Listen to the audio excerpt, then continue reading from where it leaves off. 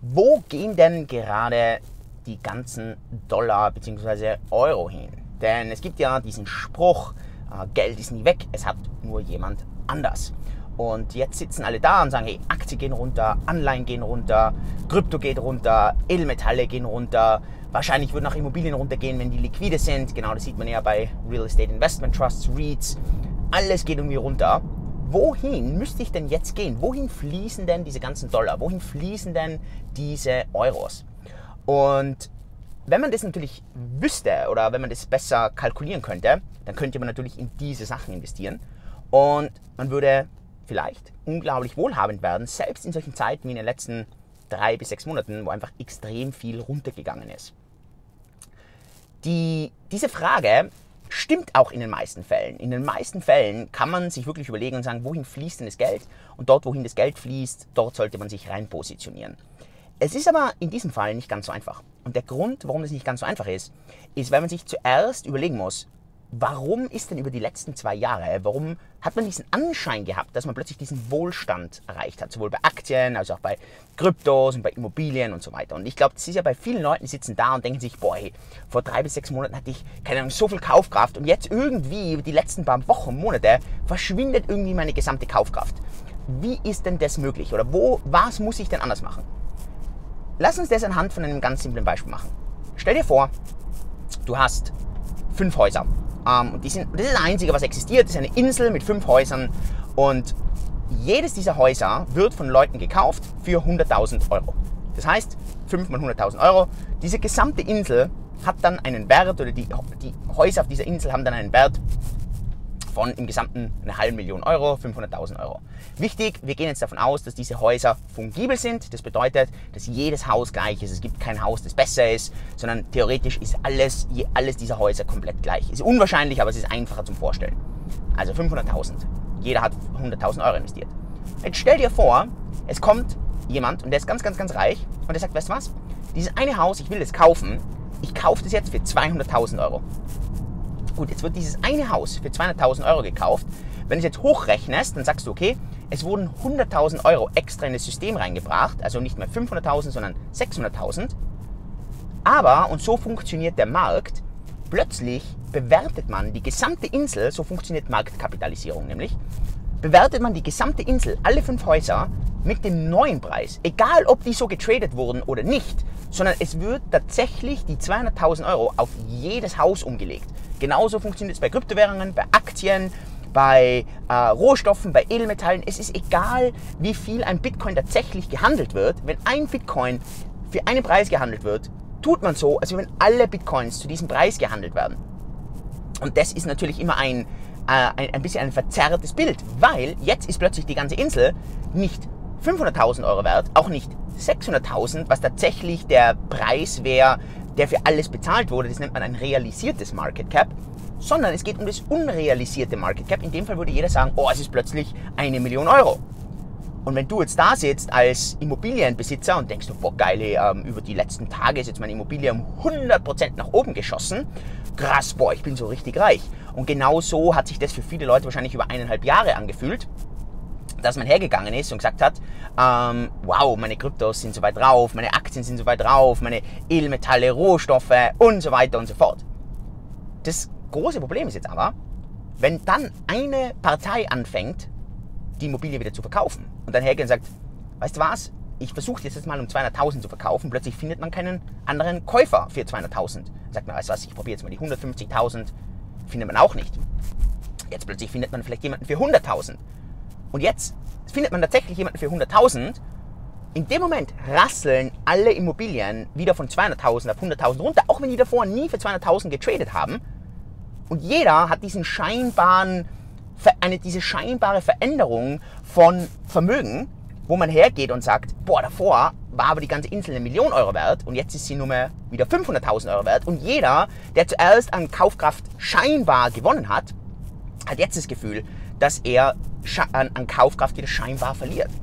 Und das ist die riesengroße Gefahr über diese letzten zwei Jahre. Diese riesengroße Gefahr ist, dass die Leute da sitzen und das Gefühl haben, sie hatten vor sechs Monaten diese massive Kaufkraft. Und natürlich, wenn du diese Kaufkraft tatsächlich realisiert hättest, das heißt, du hättest die in tatsächliche Güter des täglichen Bedarfs oder in deinen Bedarf hineingewechselt. Es, ist, es funktioniert ja teilweise nicht mal mit Dollar. Das ist ja auch wichtig. Also es ist ja, es ist ja teilweise sehr, sehr schwer, selbst wenn du in Dollar hineingehst, dass du diese Kaufkraft nicht verlierst. Sondern du hättest wirklich hergehen müssen und praktisch alle Sachen, die du brauchst, hättest du vorher, also voraus, uh, da ist ein Unfall, ähm, hättest du vorbezahlen müssen. Aber nicht schlimm. Okay, vielleicht ein Lackschaden, nicht viel passiert. Ähm, hättest du alle vorbezahlen müssen. Das heißt, den ganzen Strom, die ganzen Essensgüter, alles hättest du vorausbezahlen müssen, um sozusagen diese Kaufkraft von vor sechs Monaten tatsächlich im System zu behalten. Denn selbst in Dollar, in Dollar hättest du wahrscheinlich am wenigsten Kaufkraft eingebüßt, aber selbst im Dollar hat man ja über, die, über das letzte Jahr circa 8 bis 10 Prozent Kaufkraft eingebüßt. Das heißt, selbst da würde das nicht reichen. Und das ist das, wo sich die Leute so unglaublich schwer tun. Und wenn ich zum Beispiel Ende des Jahres gesagt habe, ähm, in, in den ganzen Videos, Leute, ich glaube, dass zum Beispiel 2022, wahrscheinlich auch 2023, wird unglaublich schwer sein, Kaufkraft zu halten. Und über die letzten zwei Jahre, also 2020, 2021, war es praktisch ganz, ganz, ganz einfach, seine Kaufkraft zu vervielfachen. Dann ist es in der Voraussicht gewesen, dass die Fed Geld rauszieht. Dieses Geld rausziehen ist zwar der Abfluss, aber dieser Abfluss ist nicht so schlimm, als wie diese ganze Entwertung der Vermögenswerte, die einfach nur zuerst falsch hochgerechnet waren und jetzt wieder runtergerechnet werden. Und aus dem Grund ist es viel realistischer, seine Kaufkraft nicht vor sechs Monaten zu heute zu vergleichen. Das ist nämlich ziemlich unfair, sondern du musst es eigentlich von Prä-Covid zu jetzt vergleichen. Und hier musst du jetzt deine Kaufkraft vergleichen. Und da ist wahrscheinlich deine Kaufkraft raufgegangen, hoffentlich. Ansonsten hast du über die letzten zwei Jahre echt keine guten Investmententscheidungen getroffen. Also ich hoffe, dass deine Kaufkraft hier stark nach oben gegangen ist. Und Kaufkraft nochmal hat natürlich nicht unbedingt was mit deinem Dollar oder mit deinem Euro-Wert zu tun, sondern es ist am Ende immer, wie viel bekommst du denn da dafür?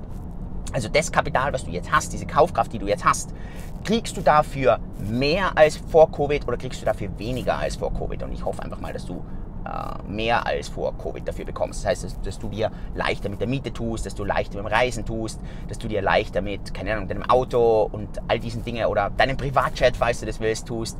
Ähm, das ist ja eigentlich genau die, die, die am Ende das, was zählt. Es zählt dir nicht, wie viele Dollar du hast oder wie viele Bitcoins du hast oder wie viele Goldmünzen du hast, sondern was wirklich zählt, ist, wie diese Dinge, die du hast, in Kaufkraft sich umrechnen lassen. Und das ist ja eines der absolut wichtigsten Konzepte, die du als, nicht nur als Investor, aber generell äh, für deine Finanzen irgendwie verstehen solltest. Und ähm, genau, und wie positioniert man sich jetzt hier zurzeit? Und ich habe eh immer das äh, gleich erklärt und ändert sich auch zurzeit nicht. Du brauchst drei Dinge zurzeit.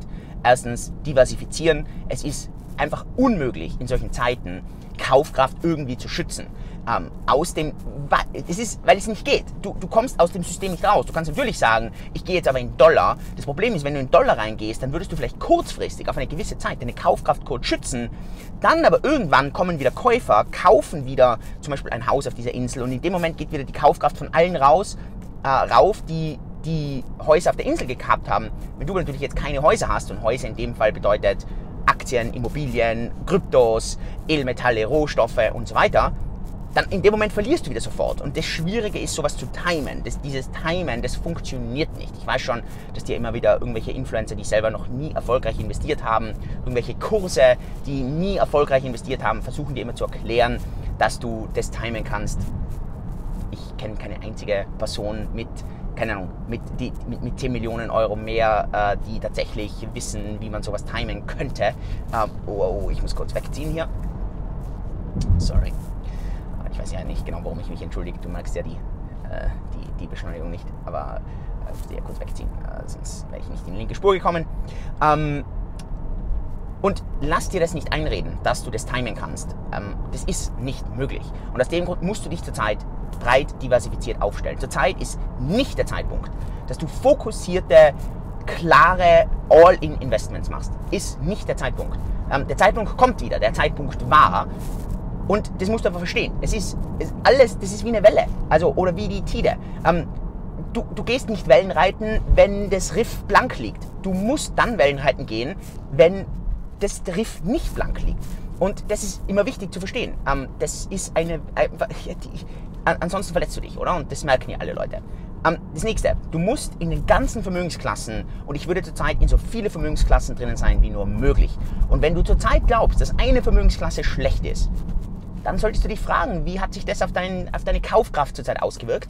Ähm, wahrscheinlich nicht so gut. Und das würde ich wahrscheinlich auch ein bisschen weiter überlegen hier. Und in den unterschiedlichen Vermögensklassen würde ich eher in die sichereren, unter Anführungszeichen, hineingehen. Ähm, also bei Aktien in die sicheren, bei den Kryptos in den sicheren, äh, bei Fiat-Währungen in den sicheren. Und das kannst du ja auch anschauen. Ich meine, die sicherste Fiat-Währung ist immer noch der Dollar. Der Dollar hat unglaublich stark performt. Ähm, also und, äh, von dem her äh, auf jeden Fall gute Entscheidung. Anleihen sicher, Immobilien sicher, Edelmetalle eher in Gold, Rohstoffe eher in die Blue-Chip-Rohstoffe und so weiter. Das ist das zweite. Und der dritte, wenn du die Kaufkraft nicht, wenn du Kaufkraft vor allem durch das Repricing von den Vermögenswerten äh, verlierst, dann muss es natürlich trotzdem eine Möglichkeit geben, wie du Kaufkraft dazu bekommst und das ist über Cashflow. Und es gibt Zeiten, wo Cashflow die Kaufkraft treibt und es gibt Zeiten, wo eher das Reinvestieren von Cashflow die Kaufkraft treibt. Also, dass du eigentlich Cashflow negativ bist, weil du stetig alles reinvestierst und weil du stetig eher in die Zukunft den Cashflow holst.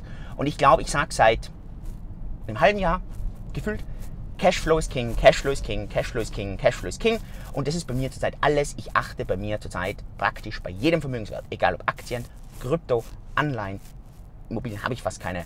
Ähm, egal, was ich mir sonst anschaue. Cashflow, Cashflow, Cashflow, Cashflow. Der Grund ist, weil alles zurzeit repriced wird und der Hauptweg, wie ich dann an Kaufkraft überhaupt noch dazu gewinnen kann, ist durch Cashflow. Und ich hoffe, das erklärt dir das ein bisschen, es erklärt dir, wohin das Kapital zurzeit fließt. Bitte versuch nicht den Boden hier zu fischen. Bodenfischen ist unmöglich. Ähm, und ich werde auch gerne mal ein eigenes Video machen, wann ich wieder in Kryptos einsteige, falls dich das interessiert und was meine Gedankenpunkte dazu sind. Dann kannst du mich gerne wissen lassen. Ansonsten, wenn du Fragen zu dem Thema hast, generell Fragen hast oder wenn du Dinge spannend oder nicht so spannend findest oder vielleicht zu einem der Punkte vielleicht mehr oder was brauchst, dann sag, lass mich das wissen. Gerne Fragen unten reinschreiben, falls du Mehrwert aus dem bekommst, lass mich das auch gerne wissen. Und ansonsten gib mir gerne einen Daumen hoch, abonnieren und dann sehen wir uns beim nächsten Mal. Liebe Grüße, dein Julian. Tschüss.